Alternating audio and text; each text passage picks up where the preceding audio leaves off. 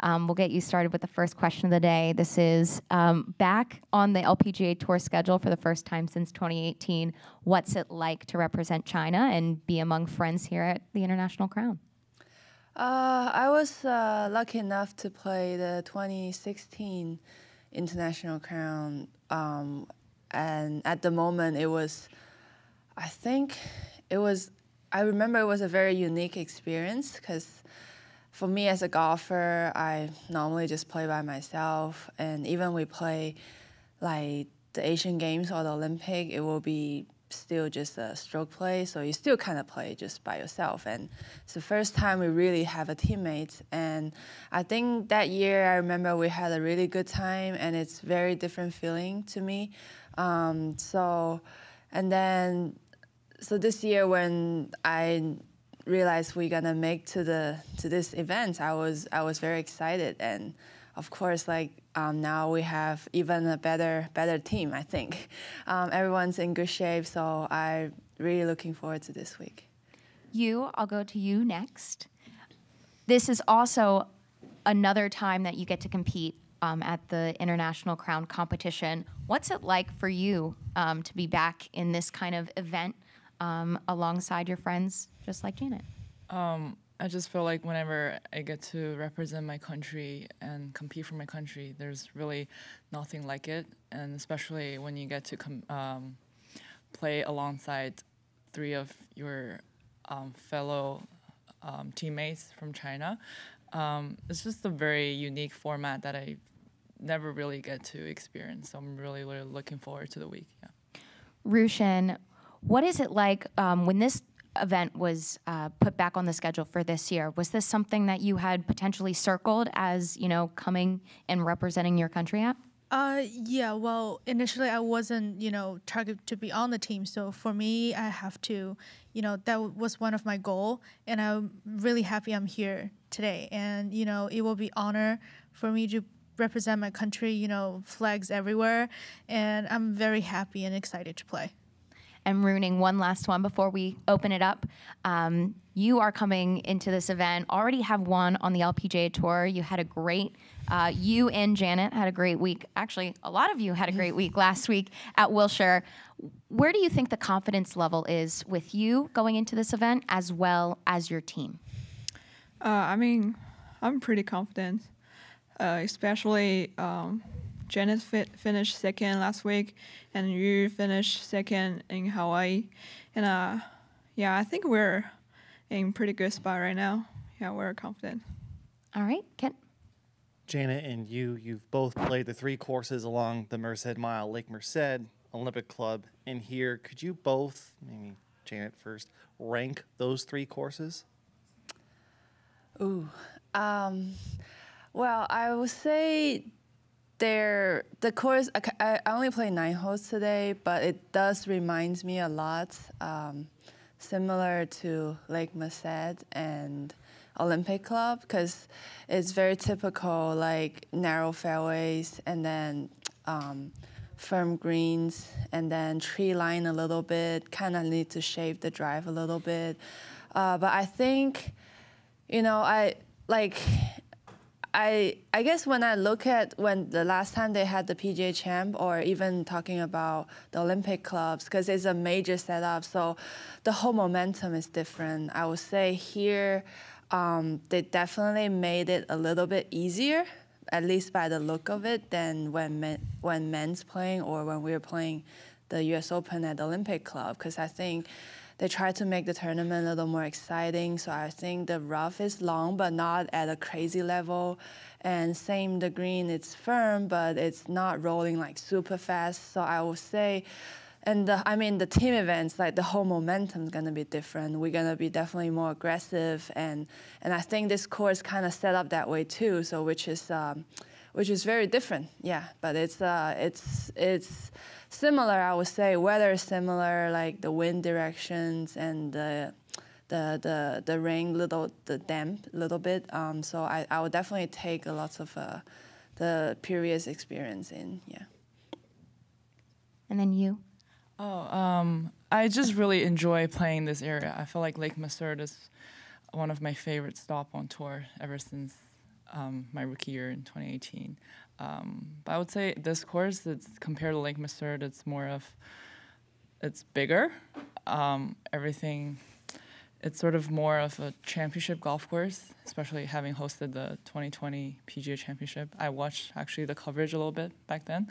I just feel like the fairways are quite, um, it's quite wide, but I know they left a lot of rough. Um, they made the fairways narrower by leaving rough, but you won't get into too much trouble if if you hit errant tee shots. So I think um, I felt like distance would be a good advantage out here, um, especially the par fives. Um, um being able to reach the par fives and s- score the par fives are probably the key out here this week. And So you want to rank them one, two, three? we'll see after this week. if, if we do well, then definitely number one. But I, I would say Lake Merced is among the number one in my heart. Yes. Ruoning, could you explain why you picked number 30 this week? Oh, I, lo- I love your head, by the way. uh, number 30, uh, 30 I, I mean, I love Stephen Curry, and especially we're playing San Fran. Yeah, that's why I choose 30. Where did your love of Steph Curry start from? Everything. I mean, um, uh, I think he's underrated uh, since he was in high school and college, and uh, but he just keep fighting the doubters. Yeah, that's why I love him. How do you all as a team feel the pool broke for you given England's news of Georgia and Charley withdrawing this week and, and Linn Grant not being a part of Sweden? We're just playing ourselves.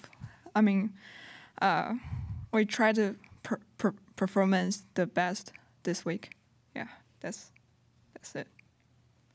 Ration, you're the highest ranked player in the field. Yeah. You've had a lot of success on the Epson Tour that hasn't necessarily translated to the LPGA. What does this week mean for you to maybe cement that success in the Epson in a big stage like this or to build confidence going back to the rest of the LPGA year? Well, I feel like between the tours, there's a few differences, but for me personally, I was undergoing some health issue, and um, I withdrew from Hawaii, and that was a big struggling even until now.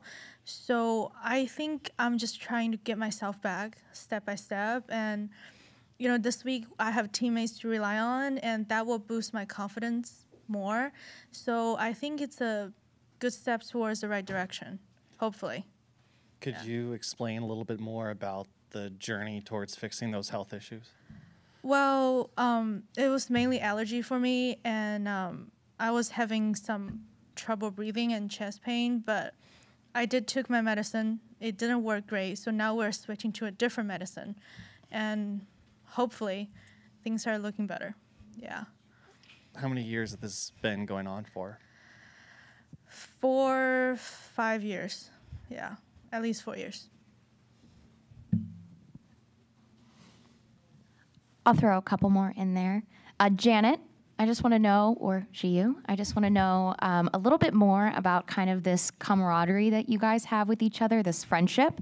Who would you say is kind of the the one that keeps everyone smiling out there? You know, if the golf is getting a little bit too rough, Myself. and why is that? Uh, well, I I don't know. I'm pretty good at making joke of myself, right? um, well, I would say like mm, this couple of years, because I mean, I, I, first I always travel by myself, so I've been playing out here long enough, and I think recently I start to find a better balance, um, my golf and my life, and then I kind of, I guess, as I'm getting more mature, I kind of realize golf is not everything, and and golf doesn't define you as a person. So I try to keep everything simple, everything happy, and then especially um, when I'm out here by myself, it's really important to keep myself comfortable mo- most of the time. So even though there's always little trouble here and there, so I think I'm started to learn how to get through it pretty quickly. So I think I'm I'm I'm pretty good at it, and my caddy helped me a lot. He he's really good at it too. yeah. So Ruixin, would you agree that Jana kind of keeps everyone smiling? I think she's the most outgoing one among four of us, and she's the most experienced out here. So m- maybe that's why she talks more than we do. Yeah. Hey, I'll take it. You, um, you talked a little bit about the insight. You, I know you've only played nine holes here, but how do you think kind of the strengths of your team will be put to use um, on this course starting on Thursday? I feel like the strength would be we're pretty even. Like we don't really have a very obvious weakness throughout the game. Um, so I feel like we can um, we can take on any players out here. So I like that. I like the confidence coming in here, guys. And I think I'll end it back with Ruoning. I think we have to di- dive a little bit more deeper into the Steph Curry because we are very close um, to where they will be playing. I know there's a game tonight. I know we have the gala, but is that something that you'll be kind of watching text notifications on your phone for? Yes, definitely. I mean, um, when I played last week Sunday, I think they're against the Kings, and uh, yeah, on hole two, my caddy just asked me, "Hey, do you want me to tell you the score right now?" I thought he, he was saying the golf score. I was like, "No, we're just having fun here," and uh, I just realized that um, he was talking about uh, the Warriors score. I said, um, um, probably not, because if the Warriors lost, I'll probably cry on the golf course. so, um, yeah, I'll be watching tonight, and maybe if we get a chance, I pro- I'll probably go to Thursday night to watch. Wow. Yeah, So you would you would go on Thursday night? probably. I mean, I wish. I hope so. and when did you um, start watching? Is basketball kind of one of your favorite sports to watch? Yes. Um, I think I'm a nine years Curry fan. All right. Yeah. So, yeah, it's been a And- long time. And I'll ask, I'll wrap it up with this question for any one of the teammates. Um, has she been talking about Steph Curry like all week, or is this the first time that you're hearing about it? For me, it's the first time. we we went to we went to a game in Orlando in the off season. Oh, I mean maybe before the off season. And that night, somehow Magic beat Warrior by one point, and I never see her being so angry ever in my life. So, so that was the moment I was like, because I I really I, I love watching basketball too, but I I don't really pick a side. I mean, I'm an Under Armour athlete, so I'm kind of supporting Curry as well. But when I'm watching, I didn't really pick a side, so I feel bad for her. Thank you you for the better insight. not go Thursday then. You will see her on Friday. You will see. If we see You can tell what's going on. All right. Well, thank you, Team China. Best of luck this week. okay, thank you. Thanks.